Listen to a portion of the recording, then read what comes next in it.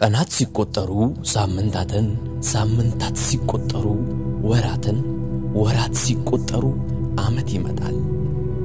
አይሆንም ያለው ክፉ ተባሩ እግዚአብሔር በባሪያው የተናገረውን ቃል ፈጸመ።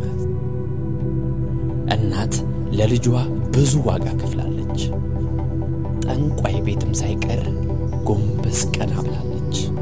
የሦስት ዓመት መከራና ስቃይ ተፈታ። በቤቷም ፍጹም ደስታ ሆነ። እግዚአብሔር ሁሌም መልካም ነው። ካሁን በኋላ ጠንቋይ ጋር አልሄድም፣ ገዳም እገባለሁ ነው በቃ ተስፋዬ። በየሳምንቱ አስር ሺህ ብር ሲሉኝ ልጅ የሚድን ይመስለኛል። በቃ አስር ሺህ ሀያ ሺህ ብር ሲሉኝ ሀያ ሺህ ብር ያለኝም በቃ ኢትዮጵያ ውስጥ ከመጣሁ እኔ የተቀየርኩትን አንድ ሚሊዮን አንድ መቶ ሺህ ብር በላይ በሕክምናና ለጠንቋይ ለዚህ ህፃን ልጅ አጥፍታለች። አንደኛው ጠንቋይ ጓ ልጄን አዝዬ በቃ ዓለምን ትቼ ልጄን ይዤ እገባለሁ እስከሚሞት ስለው እዛ ቤት የገዛሽበት ሰፈር እኮ አንድ ሰው እያለ ይለኛል። አንድ ቀን ለጠንቋይ ገንዘብ ካልሰጠው ካሳለፍኩ ሳይመቸኝ ቅጣት አለው። ቅጣቱ ምንድን ነው? ልጄ ይታመማል። ልጄ ቢሞት እስከነሱ ከተለየው ስላት አይሞትም፣ ከሞተም ይሙት። ምን አይነት ሰውዬ ነው እኔን ማየው?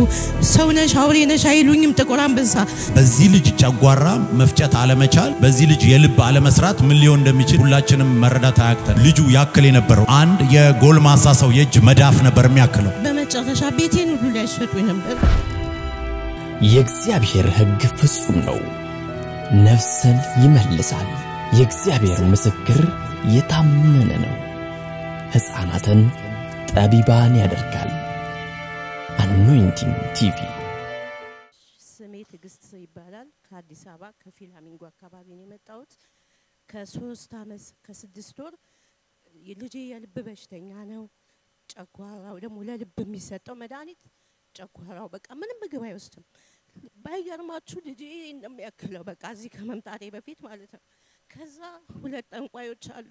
አንዱ ለአንዱ አንዱ ለአንዱ እኔ ነጋዴ ነኝ በጣም ነጋዴ እና ይቀባበላሉ። በየሳምንቱ አስር ሺህ ብር ሲሉኝ ልጅ የሚድን ይመስለኛል። በቃ አስር ሺህ ሀያ ሺህ ብር ሲሉኝ ሀያ ሺህ ብር ያለኝም በቃ እና በመጨረሻ ቤቴን ሁሉ ሊያሸጡኝ ነበር። ከዛ ምን አረኩኝ እኔ መረረኝ። በቃ ሶስት አመት ከስድስት ወር ልጁ ምንም ልዩነት የለውም ምንም ምንም በቃ እና አንደኛው ጠንቋይ ጓ ልጄን አዝዬ ሄድኩና በቃ ካሁን በኋላ እኔ ወደ ገዳም ልገባ ነው፣ ንግድ ምንም ይቅርብኝ፣ በቃ ዓለምን ትቼ ልጄን ይዤ እገባለሁ እስከሚሞት ስለው እንዴ እዛ ቤት የገዛሽበት ሰፈር እኮ አንድ ሰው እያለ ይለኛል። እኔ ምን አይነት ሰውዬ ነው ያለው? እኔ አላቅም። እኔ ቀና ብዬ እንኳን እያሱ ሜዳ አሁን ነው ያየሁትኝ የሱን ፎቶ እና ቀና ብዬ አላየውም። እና ምን አይነት ሰውዬ ነው? ካሁን በኋላ ጠንቋይ ጋር አልሄድም፣ ገዳም እገባለሁ ነው በቃ ተስፋዬ። ከዛ በመጨረሻ ሁሌ ሁለት ወር ሙሉ ምን አይነት ሰውዬ ነው እኔን ማየው? ምን አይነት ሰውዬ ነው? መቼ ነው ገዳም እሄዳለሁ ነው ሀሳቤ እንጂ እኔ ይህን እውነት እግዚአብሔር ይሰጠኛል ብዬ አላሰብኩም። እና በመጨረሻ እህቴ መውለድ እምቢ ብሏት እንደ ድንገት ሰው ይዟት ይመጣና ከዛ የዛሬ ወር እንደውም ጥምቀት ከሱ ጋር ትወስዳለች እና ግድ የለሽም ነይ እንሂድ ስትለኝ እኔ ግን ልጄ ቢሞት እስከነሱ ከተለየው ስላት አይሞትም፣ ከሞተም ይሙት ጌታን አውቀን መሞት እኮ ይሻላል ትለኛለች እና ትንሽ እኔ ዱባይ አስር አመት ኖር ያለው እና በቃ እውነትሽን ነው። እኔ እኮ ዱባይ ጌታን አምን ነበር። ኢትዮጵያ ውስጥ ከመጣሁ እኔ የተቀየርኩትል እና ከዛ ይዛኝ ትመጣለች ገስት ውስጥ ገስት መጣን። ከዛ አይዞሽ አይዞሽ በቃ ብዙ ነገር አጽናናኝ፣ መቼም አይረሳኝም። እና ከዛ በኋላ ሳስበው ልጄ ምንም የጨጓራ በሽታው ሊተወው አልችልም። ከዛ የእሱ ዘይት የእሱ ምን ነበረኝ እሱን እያጠጣው ይኸው መድኃኒቱን ካቆምን አምስት ወር። ጥቁር አንበሳ አንድ ቀን መድኃኒቱን ካቆም አይቀበሉም።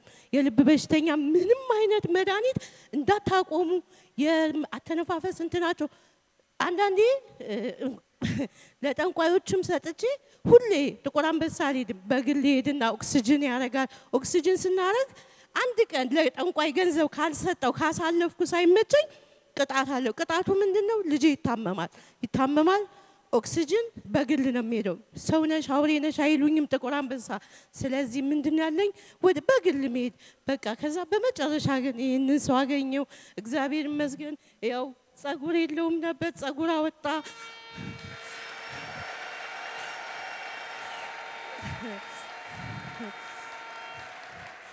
ቁመት የለውም ነበር፣ ቁመት አበጀ። ውፍረት የለውም ነበር፣ ውፍረት አበጀ። እግዚአብሔር ይመስገን። መድኃኒቱን ቃቆምን አምስት ወራችን አምስት ወር ያለ መድኃኒት ነው የምንኖረው። ዛሬ ልደቱን ላከብር የኬክ መግዣውን አስር ሺህ ብር ለቤት መስሪያ በየ አስገብቼ ነው የመጣሁት። ዛሬ ልደቱ ነው።!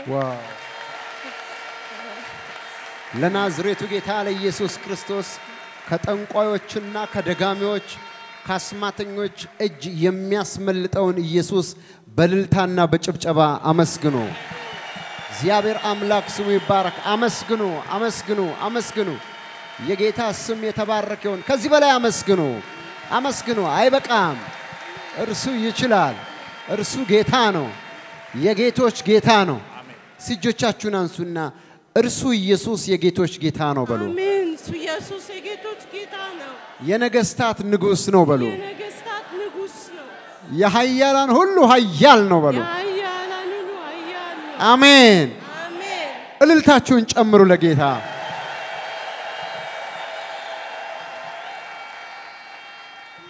ስሙን ራሱ ማን ያውቃል ደረሰ ብየዋለሁ። ያለ አባት ነው የማሳድገው። ዛሬ አራት ዓመቱ ነው። እግዚአብሔርን አመስግኑልኝ። በቃ! ክብር ለጌታ ለኢየሱስ ይሁን።